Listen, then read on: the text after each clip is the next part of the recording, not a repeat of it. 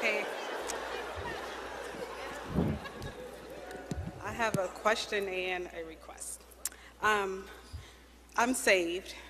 I had a baby out of wedlock. I struggled with um, the decision that I made. And right now I'm at the lowest point in my life. Um, a month ago, my baby was diagnosed with liver cancer. And I know God is going to bring us out of it, but it's just been hard dealing with the whole thing, and I'm struggling to find purpose in all of this. Oh, what's your name, sweetheart? Ashley, Ashley. And who- this the baby here? Mm-hmm. What's the baby's name? Caleb. Caleb. And how old is Caleb?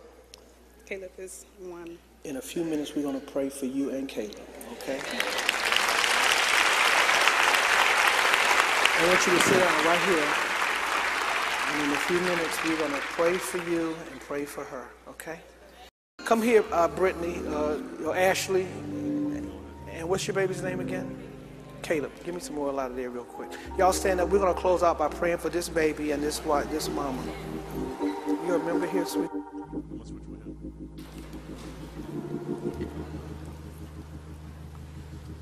And what's the baby's name again? Caleb. Father, we anoint Caleb with oil in the name of Jesus. Father, we, we don't we recognize there's no power in the oil, but it's in the name of Jesus. And we pray today that you curse the cancer that is attacking her body in the liver in the name of Jesus. Lord, I just we just humbly pray for you to bring healing to her in the name of the Lord. We know what the doctor said, but God, we believe your report that by your stripes we're healed. And we pray for Ashley today that you would encourage her help her not to put her eyes on the circumstance or the situation, but Father, remind her that you're in charge of her life and that you love her and that you have a future and a, a, a purpose and an assignment for her in Jesus' name. I pray not only for her and this baby, but all those who are sick and in challenging situations today. Have mercy today, Almighty God. We pray and we give you thanks and praise in Jesus' name. Amen. Good night, everybody.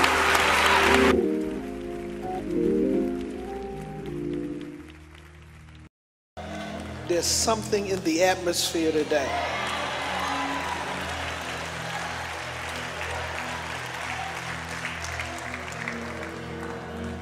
God, God works in seasons. And I just feel like this is a season of miracles.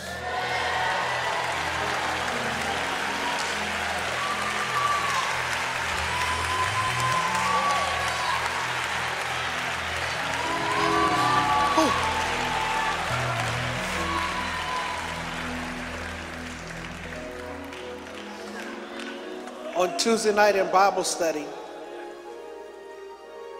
I have a time of questions and answers. And a, a young lady, a little girl, not a little girl, she's a young lady, came up with a baby. And she kept step, she stepped to the mic. She said, I just want prayer because my little baby has liver cancer. And I just want y'all to pray. So we prayed for her on Tuesday.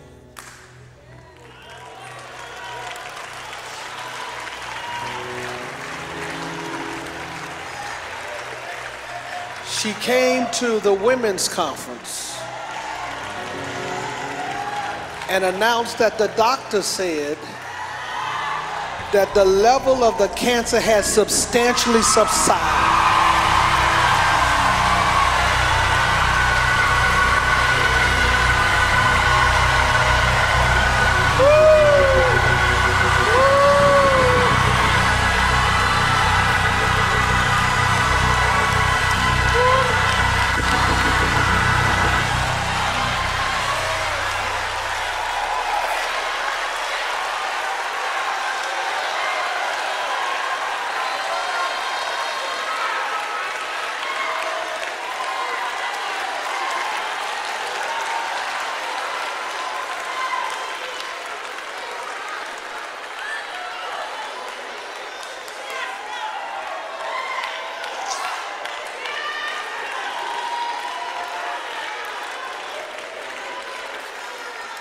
He is a healer.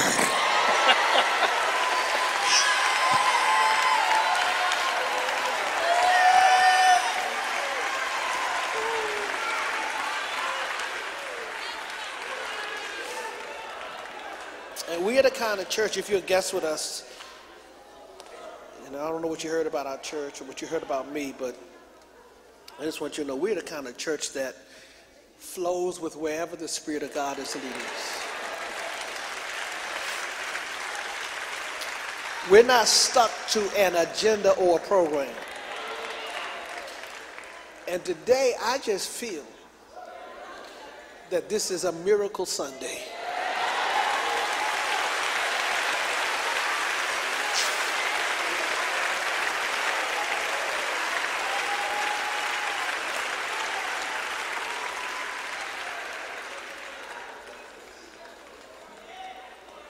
And I'm, I'm trying to find the people who need a miracle. Hold up, I ain't talking about your head hurt, your toe, you need $50. I ain't talking about that. I'm talking about somebody who's in a situation that if God doesn't move, if God don't do something, it's going to be really bad. Where you at? Come here.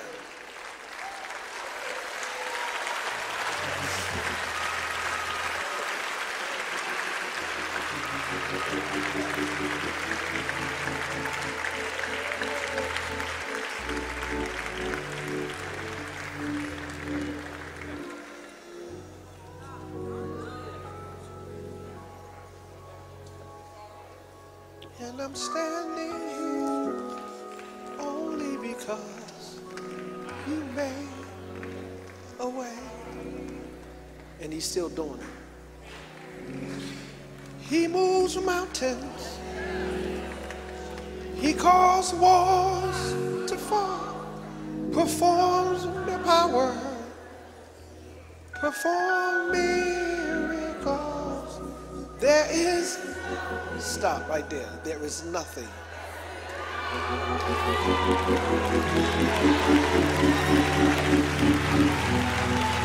And we're standing here only because you made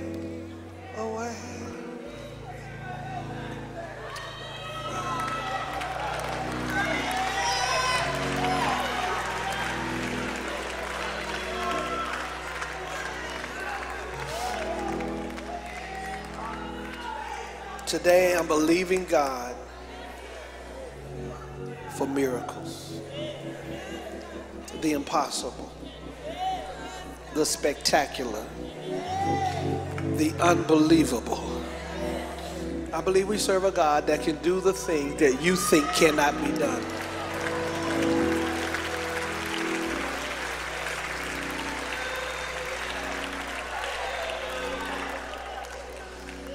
I know what the doctor said, but we want to believe the report of the Lord.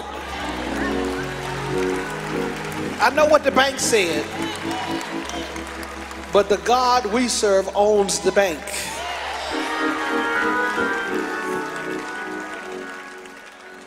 And what's required on your part is faith. Faith. Look at your neighbor say, You gotta believe, you gotta believe. Did y'all tell them? Tell them on both sides. You got to believe. Faith moves God. Faith moves God. Without faith, it's impossible to please God. The Bible says when you come to God, you must believe that He is and that He is a rewarder of them that. He, he's able. So whatever He is, I believe in God for miracles believing for your marriages to be healed, believing for your children to turn around, believing for unsaved people in your family and your relatives to be saved, believing for your business to succeed, believing for whatever you stand in the need of. I just believe that this is our season of miracles.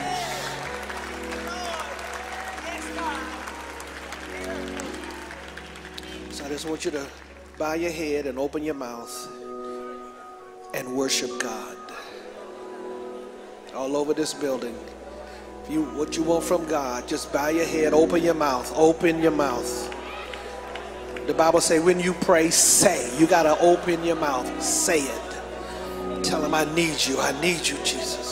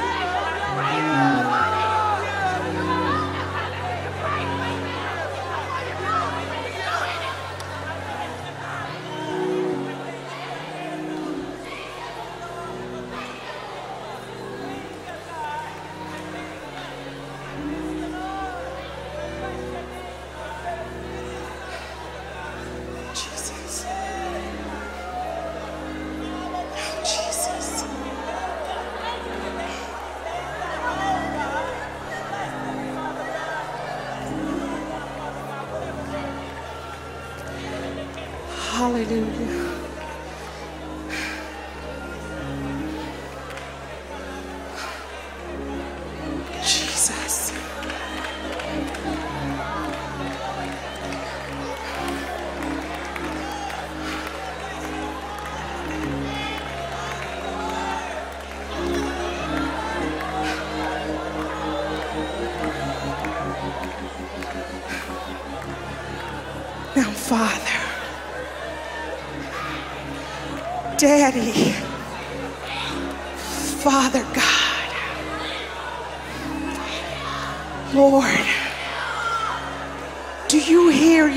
Children? Do you hear them calling your name? Oh God. Lord, your children are beseeching you, God, to move on their behalf. God, do you see them?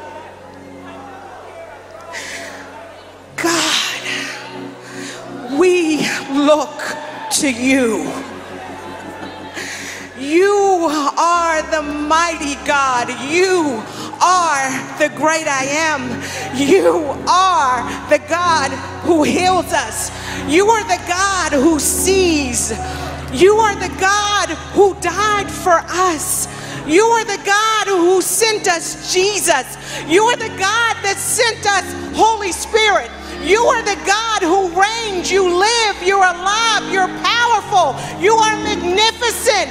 Who else would we call on but you, God? So, God, we look to you for miracles. God, you're mighty. God, you're strong. You are victorious, and without you, we are nothing. So we don't look to our power, we don't look to our intelligence, we, we don't look to our finances. God, we realize we need you. So, God, please, God, I beseech you on behalf of your people who you created and who you know. God, that you would work miracles, God, miracles, miracles.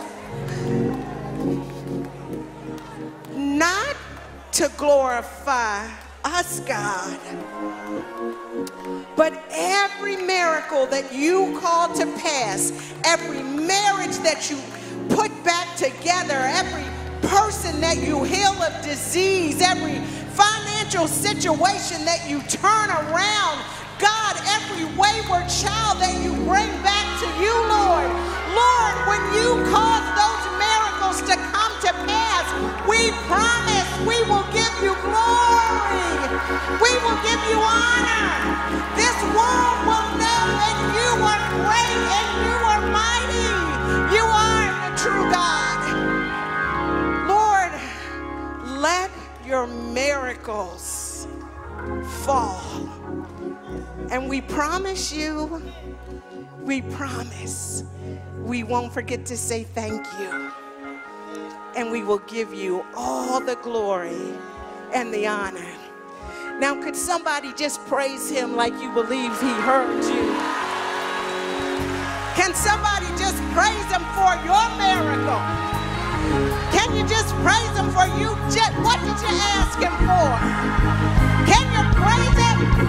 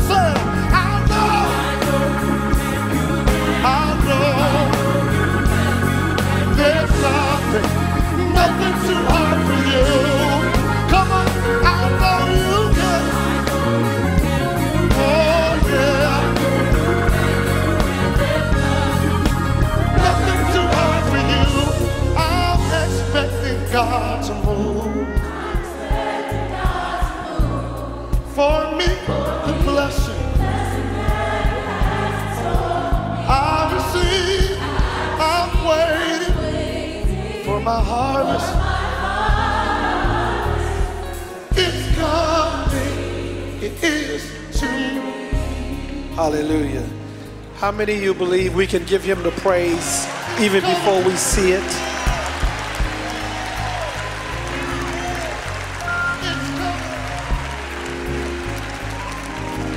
So, this is a season of miracles. I just, I don't know a lot of things, but I know the presence of God and the voice of the Lord. There's a lot of stuff I don't know, but I know God. Yeah. and I know His presence. And this is a season of miracles. And I just want to challenge you to believe God for your miracle. Amen.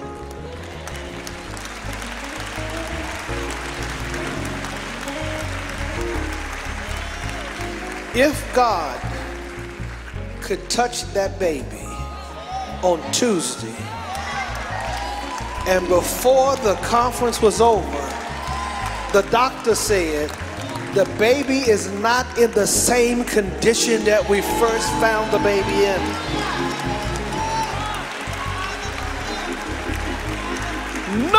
But God could do that. And if he did it for the baby, he'll do it for you and you and you and you and you and you and you. Whatever you need, he'll do it for you. Now, here's what I'm believing him for I'm believing him for the miracle of somebody's mind and heart changing about Jesus. Now, let me ask this question. If you're in here today, I don't know why you're here, this might be your first time here, but you have never surrendered your life to Jesus Christ. You have never been born again, forgiven of your sins. And that could be those who you know, I was a church goer, religious person, but I hadn't been born again. And one Tuesday night, I, I got saved. If you're here today, you never accepted Jesus. If you were to die in your present condition and you've never accepted Jesus, stop moving. Don't walk right now. This is not the time to walk. Please stay right where you are.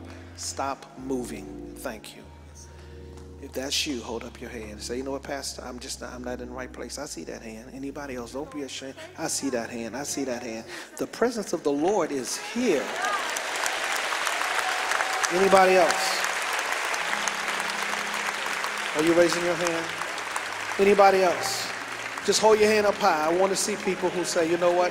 I, I need Jesus. I need forgiveness. I see you. I see you. Anybody else? Don't be ashamed.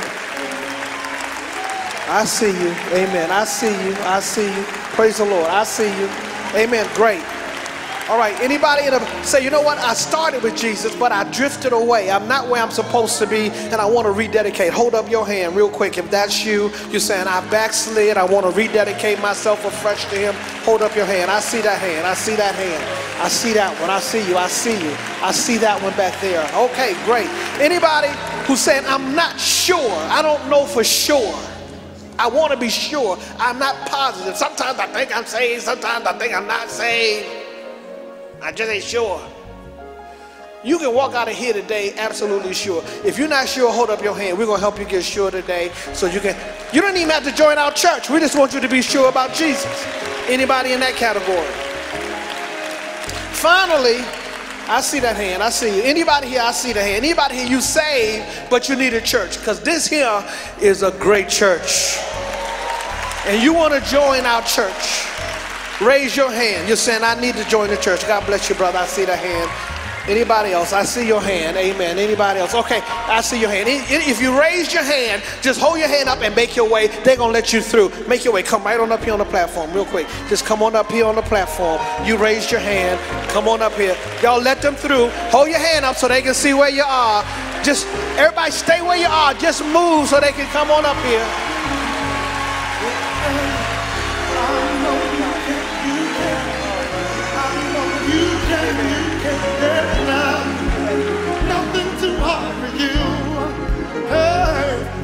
I know you can. Yeah, Come on. Come on. I know you can. I know you can. Yes, sir. Yes, sir. I know you can. I know you can.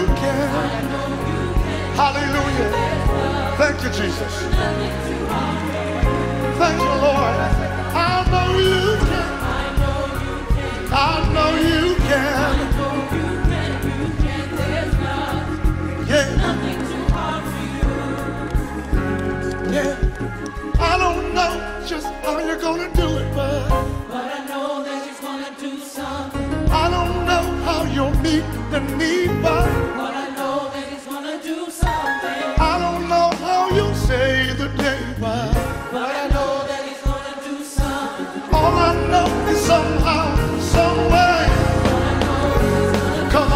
Come on,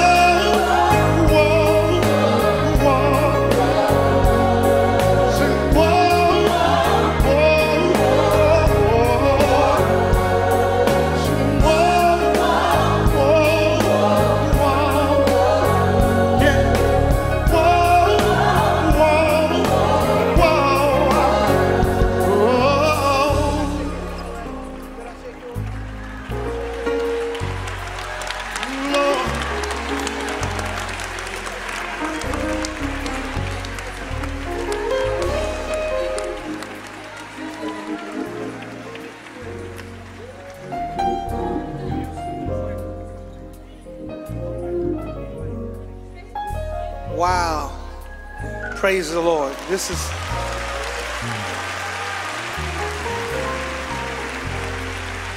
That's a nice patty cake for me, but this is what the Lord has done.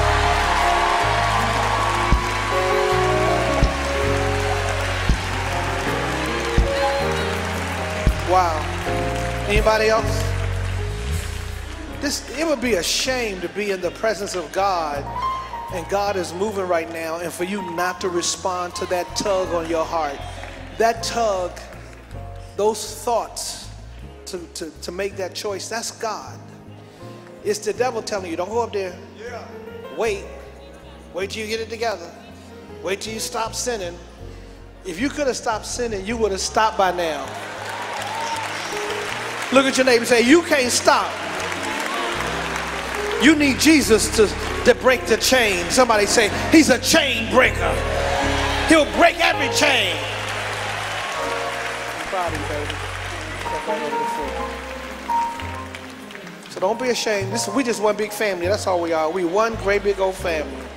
So please, can I wait for like two or three more people? Could y'all just keep on singing that song, Anthony, for just a moment?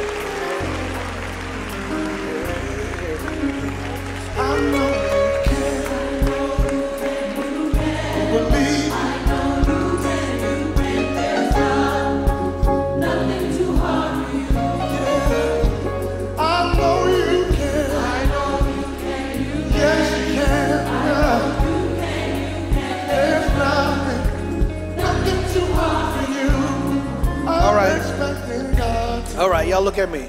Can y'all see me? Y'all looking at me? Nod your head, wink your eye, any kind of acknowledgement that you can see me. Just say, Amen. I see you, Pastor. Listen to what I'm going to tell you. I'm about to take you back into a room. We got, a, we got a secret room in the back back there, we call it. There's going to be some counselors that's going to meet you there. They're going to minister to you. They're going to find out where you are spiritually, and they're going to walk you through a process.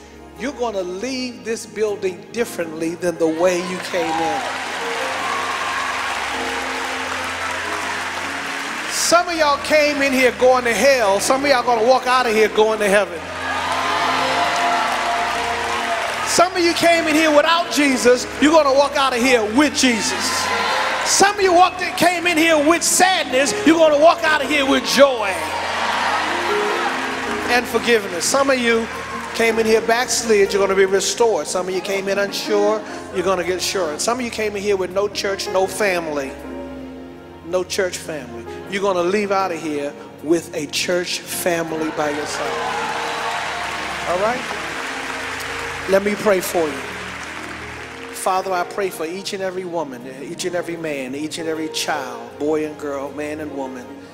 You know their names, you know their journey, and I want to pray that you forgive them, cleanse them, wash them, plant them, fill them with the power of your spirit, break every chain. Thank you for bringing them here today. Restore what's been taken, and God, you manifest yourself to them as our prayer. In Jesus' name we pray. Amen, amen, and